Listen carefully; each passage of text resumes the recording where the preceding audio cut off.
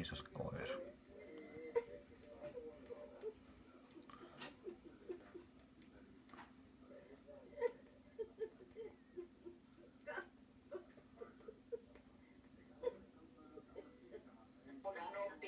Tuolla ja sekin oli huolissaan, että eikä Hessu vielä lapio mettä. Anna se vähän aikaa nyt lapioida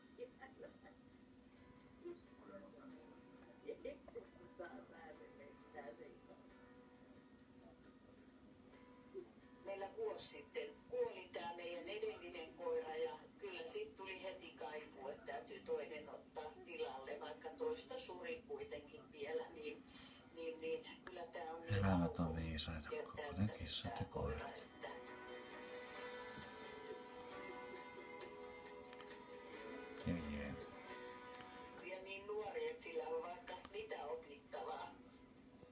Wow.